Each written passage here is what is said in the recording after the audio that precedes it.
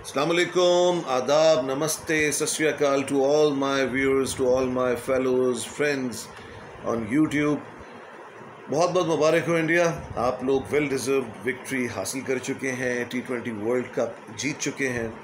کمال world cup رہا۔ It was a great run India کے لیے بہترین ٹورنامنٹ رہا۔ روہت شرما اور وراٹ کوہلی نے جس پیک پہ ریٹائرمنٹ کا اعلان کیا، وہ علیحدہ خوبصورتی تھی۔ اور زبردست زبردست آپ لوگوں نے کھیل کھیلا پورے ٹورنامنٹ میں۔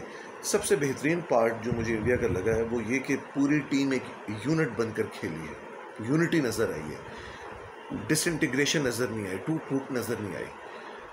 ہر ٹیم کا گول بڑا ویزیبل تھا اور آپ لوگوں کی پلاننگ دکھ رہی تھی۔ کس طریقے سے آپ لوگوں نے پہلے پلان کیا ہوا تھا کہ ہم نے ورلڈ کپ کی کیمپین کو لے کے چلنا ہے۔ یہی سمجھدار ٹیمیں کرتی ہیں۔ اور آپ لوگوں نے ڈیسائیڈ کر کے جب کھیلا ہے تو پھر اس کے بعد کمال ہی کر دیا۔ ہم بات کریں روندرا جڈیجا جی کی، انہوں نے بھی ابھی کچھ دیر پہلے ریٹائرمنٹ لی ہے۔ اور یہ ہوتا ہے کہ پیک پر اپنی گیم کو چھوڑنا پیک پر خیر بات کرنا بہت لکی ہے۔ یہ تینوں پلیئرز کہ ان کو یہ ٹورنامنٹ ملا۔ بہت ساری ٹیمیں بہت ہی ڈس اپوائنٹڈ ہوگی۔ اس میں ساؤتھ افریقہ ہے، اس میں آسٹریلیا ہے اور باقی ساری ٹیمیں۔ پاکستان بڑا انفارچونیٹ رہا۔ پاکستان کے بارے میں تو میں یہ کہوں گا کہ ٹیم ہماری ورلڈ کلاس ہی ہے، لیکن ایٹیٹیوڈ بہت تھرڈ کلاس ہے۔ صرف پرابلم یہ ہے، وہ ایٹیٹیوڈ نہیں ہے، وہ کرپشن ہے، وہ گروپنگ ہے۔ جو کرپشن آپ کو بڑے سطح پہ نظر کبھی کبھار آ رہی ہوگی، وہی کرپشن جو ہے وہ کرکٹ میں آئے گی ورنہ پلیئرس کے پاس تو وہی ایبلٹی ہے، یہ وہی ٹیم ہے جو فائنل میں گئی ہے سیمی فائنل میں گئی ہے ٹی ٹوینٹی جیتی ہے چیمپئن ٹرافی جیتی ہے۔ ابھی پرابلم صرف یہ ہو رہا ہے کہ کرپشن کی وجہ سے ٹوٹ پھوٹ کا شکار ہے ٹیم۔ اور یہ جس دن دور ہوگا تو پاکستان بھی اچھا پرفارم کر لے گا۔ ساؤتھ افریقہ چوکرز رہے انفارچونیٹ رہے کیا کیچ تھا سوریا کمار کا۔ مطلب وہ کیچ ہی آپ صرف وہ دیکھ کے آپ کہیں گے، یار، یہ ٹیم ڈیزرو کرتی ہے جیتنا۔ جس طریقے سے وہ کیچ باؤنڈری میں پکڑا۔ اور میں نے کہا کہ لک فیورز دا بریو جب آپ بہادری کے ساتھ کھیلیں گے، کوئی چیز آپ کو نہیں روک سکتی۔ وہ ڈیوڈ ملر کا چھکا بھی نہیں آپ کو روک سکا۔ اور وہ چھکے کو روک کے اس نے کیچ کر لیا۔ کیونکہ جب آپ محنت کر رہے ہوتے ہیں تو میرا ماننا یہ ہے کہ یونیورس کی تمام جتنی بھی پاورز ہیں، وہ مل کے آپ کے ساتھ ہو جاتی ہیں اور وہ کہتی ہیں نہیں، اس بندے کو جتوانا ہے۔ مزہ آ گیا۔ اگر کسی نے بھی یہ دیکھنا ہے کہ پلاننگ کیا ہوتی ہے ایگزیکیوشن یونٹی ایک پیج پہ رہ کر کھیلنا، تو وہ انڈیا کے اس ورلڈ کپ کی پوری کیمپین کو دیکھے۔ تو ان کو بڑا سکون ملے گا۔ ڈوبے نے بھی پرفارم کیا۔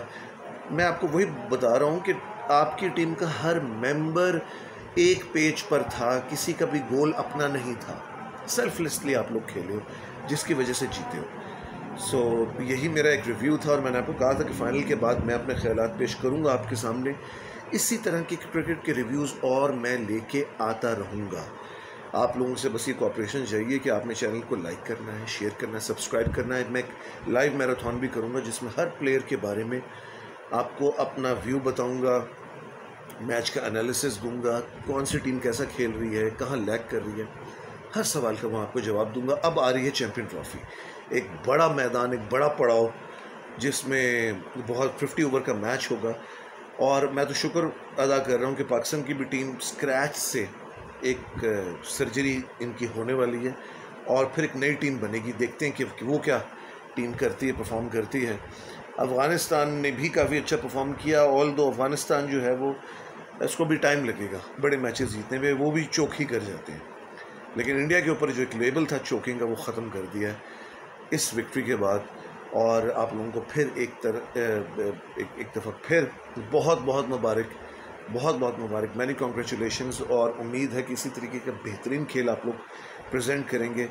اور چلیں، یہ بہت خوشی کی بات ہے کہ ساؤتھ ایشیا میں ٹرافی آئیے گوروں کے پاس نہیں گئی بہت بہت آپ کو پھر سے مبارک ہو، اپنا خیال رکھیے گا and stay connected to subscribe the channel آریوس bye